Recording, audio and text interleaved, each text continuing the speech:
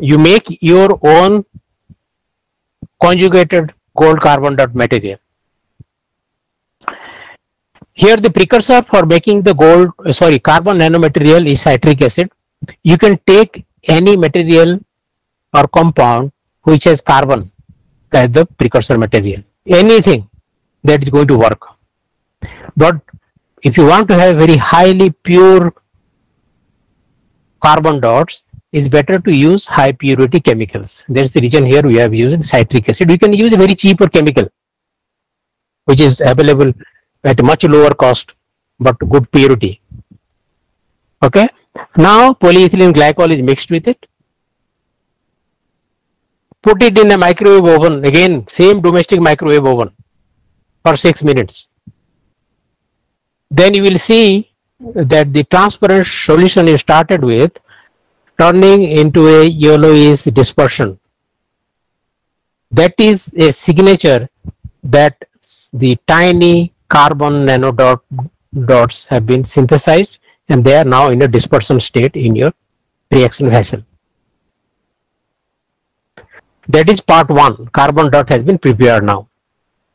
You can take a sample out of it and do the routine analysis to ensure that it has got all the properties of a carbon dot. Okay.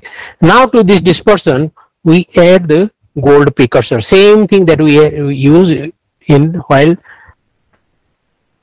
synthesizing gold nanoparticle. Aurochloric acid. HAUCl4.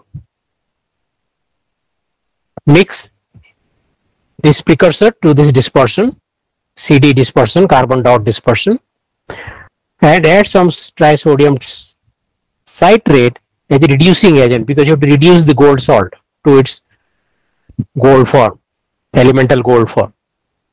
In Michael Faraday's experiment, they use starch. We can also use starch. You can use glucose or any other reducing agent will work.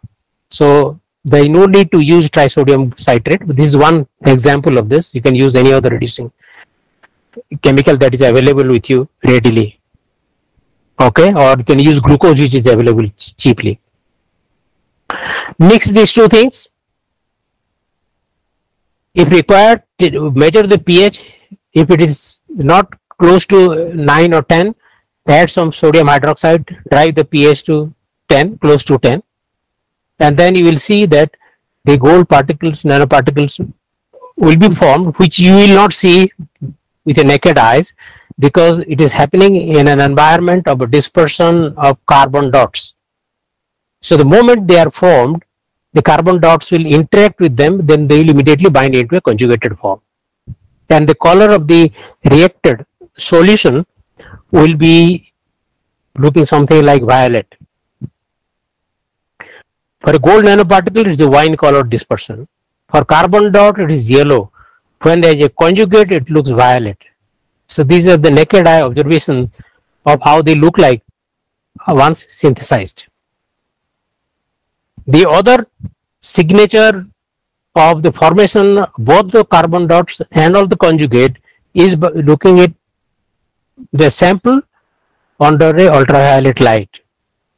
Both of are both of them are fluorescent molecules, and then you will see a ultraviolet response. It will radiate or the the the so sample will look completely different under ultraviolet light.